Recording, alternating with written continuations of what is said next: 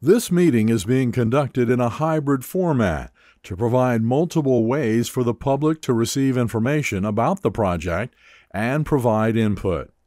This meeting is being conducted in person, virtually, through GoToWebinar, and over the phone.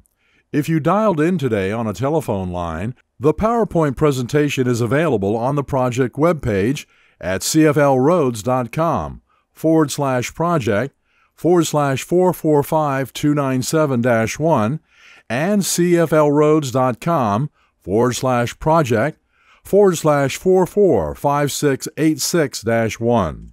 For online participants, the GoToWebinar control panel should be visible in the upper right corner of your computer screen. If joining GoToWebinar on your mobile device, simply tap the screen to display the same options. The blue arrows in both images point to where you will find the question box. You can type a comment or question into the question box, then click Send to submit your comment or question to staff. The red arrows in both images point to where you can find handouts, documents, and comment forms for this public meeting. Click the Handouts icon to see available handouts. Click on the file name to download. If you happen to experience a technical issue during this meeting, please type the issue in the questions box on the control panel on GoToWebinar or send an email to chuck at valerin group.com to report it. You may also call 813 527 1276. Staff will do their best to assist you. This public meeting was advertised and is being conducted in accordance with state and federal requirements, including Title VI of the Civil Rights Act of 1964. Public participation is solicited without regard to race, color, national origin, age, sex, religion, disability, or family status. Persons wishing to express their concerns about Title VI may do so by contacting Jennifer Smith, District 5 Title VI Coordinator, by mail at 719 South Woodland Boulevard, DeLand, Florida 32720, by phone at 386 943 5367, or email at jennifer.smith2 at dot.state.fl.us. You may also contact Jacqueline Paramore, State Title VI Coordinator, by mail at 605 Suwannee Street, Mail Station 65, Tallahassee, Florida 32399 0450, by phone at 850 414 4753, or email at jacqueline.paramore at dot.state.fl.us. This information is shown on a sign at the in person location, on the project website, and in the meeting notifications. As mentioned, the project is located on State Road 19 from north of Stevens Avenue to County Road 452 in Lake County. There are two Financial Project Identification Numbers, or FPIDs, for these projects. 445297 1 and 445686 1. In this area, State Road 19 is split, with northbound State Road 19 known as Grove Street and southbound State Road 19 as Bay Street. So, why are we doing this project? As it works to take all steps possible to achieve its goal of zero fatalities and serious injury on state roadways, FDOT has identified certain corridors as candidates for additional pedestrian and or bicycle safety improvements as part of planned resurfacing projects. This segment of State Road 19 was identified to have a high demand for different modes of transportation. As a result, the FDOT Mobility Office partnered with the City of Eustis, Lake County Government, the Eustis Police Department, New Vision for Independence, and Eustis residents to evaluate opportunities for pedestrian and bicycle improvements. The recommended improvements we will review tonight were developed from those discussions to help enhance safety throughout the corridor. Now we will walk through the planned changes along the corridor starting at the beginning of the project. At the intersections of northbound State Road 19, called Grove Street in this portion of the corridor, at Norton Street and Lemon Avenue, the department proposes to install a pedestrian activated lighted crosswalk called a rectangular rapid flashing beacon, or RRFB. RRFBs improve safety for pedestrians as they increase the visibility of the crosswalk. Moving north along the project corridor, we will see a number of new pedestrian and driver safety improvements. Pedestrian signal and lighting improvements are planned at the existing signalized intersection of Bay Street at Citrus Avenue and Lakeshore Drive. The Orange Avenue intersections with northbound and southbound State Road 19 will be upgraded with reconstructed traffic signals and pedestrian signals and enhanced lighting. Raised crosswalks are planned at the intersections of Magnolia and McDonald Avenues at both Bay and Grove Streets, which will help to slow driving speeds. At McDonald Avenue and Grove Street, the new crossing will also have an RRFB. In-road lighting is recommended at the raised crosswalks to further enhance visibility of the crossing. In addition to the raised crosswalks, other planned safety improvements include the incorporation of curb extensions or bulb outs that help to define on street parking areas, improve sight distance, and help to encourage safer driving speeds. These bulb outs provide an opportunity for landscaping that can also help improve safety for both drivers and pedestrians and improve the appearance of the corridor. Clifford Avenue will receive updates at the intersections of both Bay Street and Grove Street.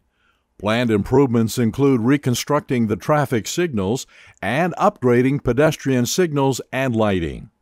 At the intersection of Clifford Avenue and Grove Street, the department plans to add an RRFB, in road lighting, and an APS. Extended curbs and upgraded crosswalks are proposed on Bay Street at Hazzard and Gottsche Avenues. Finally, an RRFB is planned for the intersection of Eustis Street at northbound State Road 19. This will also include in road lighting as well as an APS. The new crossings and existing mid block crossings will all have new overhead lighting. Repaving, some driveway modifications, and minor drainage adjustments are also planned along the corridor. The department is evaluating additional improvements along the corridor, including raised intersections to help control speed. Additionally, the department proposes to add bicycle accommodations throughout the corridor, called sharrows, which aim to increase driver awareness that bicyclists will be sharing the lane. So, what exactly is an RRFB? A rectangular rapid flashing beacon, or RRFB, consists of two rapid flashing yellow lights that are mounted below a yellow pedestrian crossing sign. The flashing lights remain dark until they are activated by a pedestrian wishing to cross.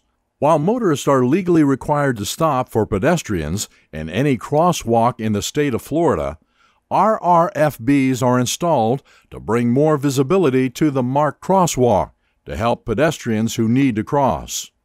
Let's look at how a pedestrian will interact with an RRFB.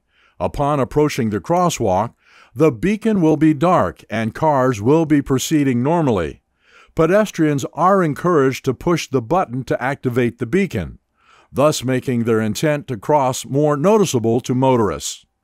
Upon pressing the button to activate the signal, pedestrians may enter the crosswalk when motorists have come to a complete stop or if no traffic is present closer than a safe stopping distance.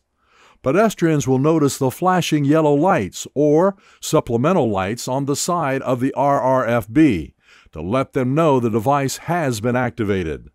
The flashing lights on the beacon will continue for a short time, allowing pedestrians to cross. Finally, after pedestrians have completed crossing and the RRFB has stopped flashing, any approaching pedestrians will have to press the button again to activate the RRFB, repeating the cycle. Now, let's look at how a motorist will interact with the RRFB. The RRFB's default state is dark until a pedestrian presses a button to cross. The motorist may proceed with caution if no pedestrians are in the crosswalk. Once a pedestrian presses the button, indicating they're ready to cross, the yellow lights begin to flash rapidly. The motorist must stop or clear the crossing if they are too close to stop safely. Motorists must remain stopped while pedestrians cross. The beacon will continue to flash, and motorists may proceed once the pedestrians clear their lane. Finally, the beacons will return to dark, and motorists may proceed with traffic when there are no pedestrians in the crosswalk. The beacons will remain dark until a new pedestrian approaches the crossing and presses the button. Moving forward, the design on each of these projects is in progress and anticipated to be complete in early 2023, with a total cost of $1.1 million for Project 445297 1 and $986,000 for Project 445686 1. The improvements on both projects will be constructed entirely within the existing right of way and therefore will not require property acquisition. Construction for each of these projects is anticipated to begin in late 2023 at an estimated cost of $3.2 million on Project 445297 1 and $1.3 million on Project 445686 1. To learn more about these projects, go to www.cflroads.com type the project numbers 445297 1 or 445686 1 in the search box at the top right and click Go. Then click on the project name. Public meeting materials are posted on the website now. We encourage your input and feedback about this project, and there are multiple ways for you to participate. All public comments and questions are part of the public meeting record, and every method for providing public comments and questions carries equal weight. While comments and questions will be accepted at any time, those submitted by Monday, May 23, 2022, 11 days after the public meeting, will become part of the project's public meeting record. All comments and questions will be responded to in writing. To submit comments in person, you may speak to our project staff on the floor or complete a printed comment form and return it to project staff. If you are participating online, you may submit written questions or comments in the question box on the GoToWebinar control panel. Written comments may also be submitted on the project website at www.cflroads.com forward slash project forward slash 445297 1 or www.cflroads.com forward slash project forward slash 445686 1. You may also contact the project manager directly by email at ahmed.elalfy at dot.state.fl.us. That's A-H-M-E-D dot E-L-A-L-F-Y at state.fl.us, or by U.S. mail at the Florida Department of Transportation, 719 South Woodland Boulevard, Mail Station 542, DeLand, Florida 32720. You may also call the project manager at 386 943 5207 to provide verbal comments during normal business hours. The contact information is also available on the public meeting notification that you may have received by mail. In the state of Florida, 35% of all serious injuries occur at intersections. Target Zero is a statewide initiative to reduce the number of transportation related serious injuries and deaths across Florida to zero. For more information on what FDOT is doing to achieve Target Zero, scan the QR code on this slide or visit targetzerofl.com. On behalf of the Florida Department of Transportation, thank you for attending this public meeting and providing your input on this project. If you have comments or questions about the meeting, please submit them by May 23, 2022. Contact information, a recording of this presentation, project documents, and other exhibits displayed at the public meeting are posted on the project website at www.cflroads.com forward slash project forward slash 445297 1 or www.cflroads.com forward slash project forward slash 445686 1. Have a good evening.